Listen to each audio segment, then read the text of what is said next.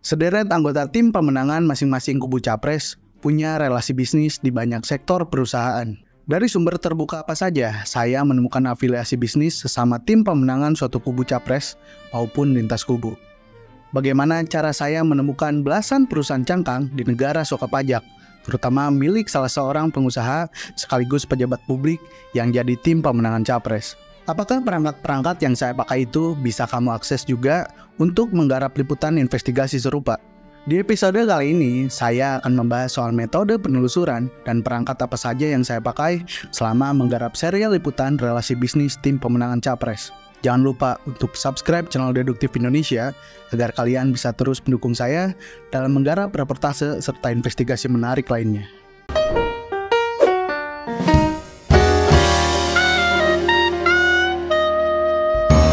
Sumber utama penelusuran saya dalam menggarap seri liputan relasi bisnis tim pemenangan semua kubu capres adalah akta perusahaan terkait. Akta perusahaan ini bisa kita akses lewat laman Direktorat Jenderal Administrasi Hukum Umum atau Ditjen AHU milik Kementerian Hukum dan HAM. Kita bisa membeli dokumen resmi berupa akta perusahaan yang kita cari itu dalam dua tipe. Yang pertama, versi lengkap akta perusahaan sejak awal pendirian hingga yang paling mutakhir. Sedangkan yang kedua adalah akta perusahaan dari pembaruan terakhir. Jika akta versi lengkap sejak awal pendirian bertarif Rp500.000, akta perusahaan yang hanya versi terbaru bisa dibeli dengan harga Rp50.000 saja. Sebelum membeli akta perusahaan, saya melakukan riset terlebih dahulu dari pemberitaan di media atau sumber terverifikasi mana pun terkait nama individu yang ingin dicari dan nama perusahaan terkait individu itu. Setelah mengantongi data awal itu, baru saya memutuskan untuk membeli akta perusahaan dari Ditjen AHU untuk membuktikan apakah nama yang bersangkutan ada di jajaran direksi, komisaris, serta perusahaan yang sedang ditelusuri. Dari akta perusahaan itu, kita juga bakal mengetahui bahwa perusahaan yang sedang kita cari itu bergerak di bidang apa. Di tiap akta perusahaan itu terdapat kolom KBLI atau klasifikasi baku lapangan usaha Indonesia. Di kolom KBLI itu tertera penjelasan rinci terkait di sektor apa saja perusahaan itu beroperasi. Selain lewat akta perusahaan terkait, saya menggunakan Google Advanced Search untuk menelusuri relasi bisnis tim pemenangan capres di suatu kubu serta lintas kubu. Lewat fitur penelusuran Google yang lebih detail dan menyediakan banyak kriteria pencarian ini, saya berhasil menemukan puluhan laporan keuangan perusahaan, risalah rapat pemegang saham, hingga laporan perusahaan di Bursa Efek Indonesia dan Otoritas Jasa Keuangan.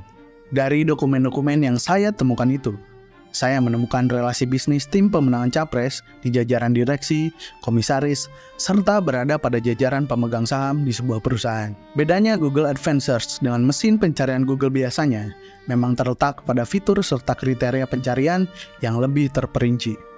Misalnya, Google Advanced menyediakan kriteria pencarian lewat kata kunci khusus, bahasa yang dipakai di objek pencarian, wilayah tempat dipublikasinya objek pencarian, waktu dipublikasi terakhir sebuah laman, hingga jenis file yang akan kita cari. Selama menggarap seri liputan relasi bisnis tim pemenangan Capres, saya memakai Google Search dengan memasukkan beberapa kata kunci di kriteria pencarian. Selain menelusuri lewat nama lengkap anggota tim pemenangan masing-masing, saya menambahkan kata kunci mulai dari komisaris, direktur, hingga pemegang saham di kolom pencarian. Selain itu, saya mengerucutkan lagi jenis file yang ingin saya cari berbentuk PDF. Dari upaya penelusuran lewat nama lengkap ditambah kata kunci di atas, saya menemukan sejumlah laporan keuangan perusahaan, laporan atau risalah rapat pemegang saham perusahaan, laporan perusahaan yang tercatat di Bursa Efek Indonesia, hingga laporan keuangan perusahaan dari Direktori Otoritas Jasa Keuangan. Beberapa relasi bisnis dari pejabat publik, politisi, sampai pengusaha saya temukan lewat metode penelusuran seperti itu di Google Search. Misal, saya menemukan relasi bisnis 10 orang anggota TPN Ganjar Mahfud yang berada di MNC Group serta anak-anak usahanya, termasuk adanya Haritanu di dalamnya. Atau ketika saya menemukan relasi bisnis Abu Rizal Bakri yang merupakan Dewan Pembina TKN Prabowo Gibran bersama dengan anggota TKN lain di PT Bumi Resource, lini bisnis Bakri Group di sektor batubara serta saya juga menemukan relasi bisnis Abu Rizal Bakri di perusahaan pembangkit listrik PT Bakri Group bersama dengan TKN lain lewat laporan keuangan PT Bakri Power. Google Search akan sangat membantu penelusuran dokumen-dokumen yang ingin kita cari terkait relasi bisnis seseorang.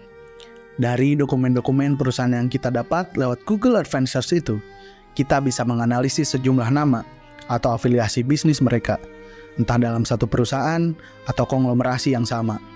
Jika lewat Google Search saya bisa mengakses dokumen resmi perusahaan, lain halnya dengan Market Screener.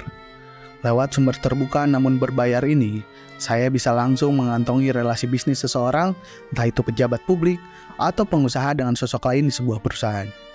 Market Screener merupakan pangkalan data terbuka dan berbayar yang menyediakan ragam statistik terkait basis data saham global, riset pasar, profil perusahaan, profil pengusaha, hingga relasi bisnisnya ke mana saja.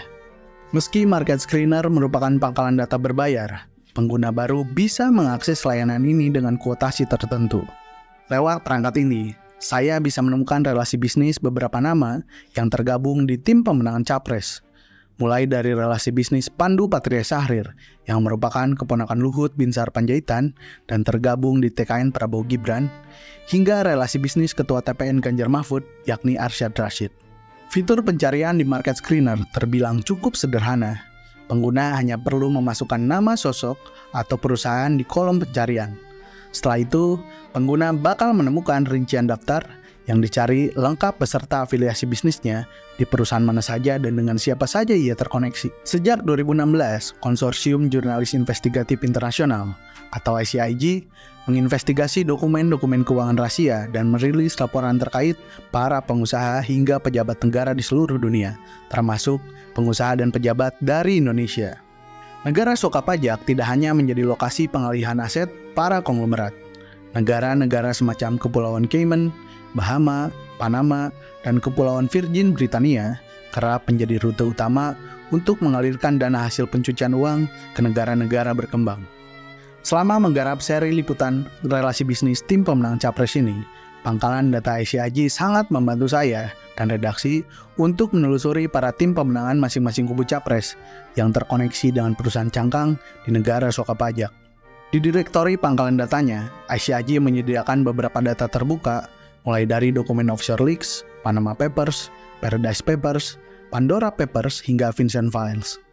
Kalian yang ingin menelusuri para pemilik perusahaan di negara soka pajak, tinggal melakukan pencarian lewat kata kunci, nama sosok, atau nama perusahaan yang ingin dicari.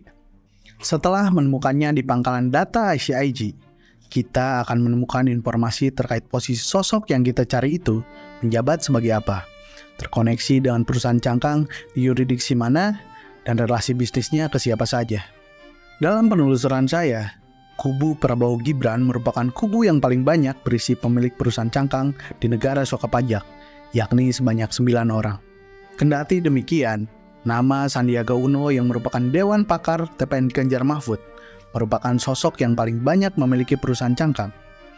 Dalam penelusuran kami lewat pangkalan data ICIG, Sandiaga tercatat memiliki 16 perusahaan cangkang di tiga yuridiksi berbeda.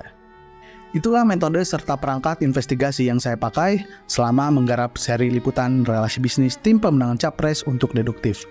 Bagaimana? Kalian tertarik untuk mencobanya juga dalam garapan liputan kalian? Semoga bermanfaat dan bisa kalian praktikan juga ya. Terima kasih sudah menonton video-video deduktif. Jangan lupa untuk subscribe channel Deduktif Indonesia untuk mendukung kami dalam menggarap reportase serta investigasi menarik lainnya.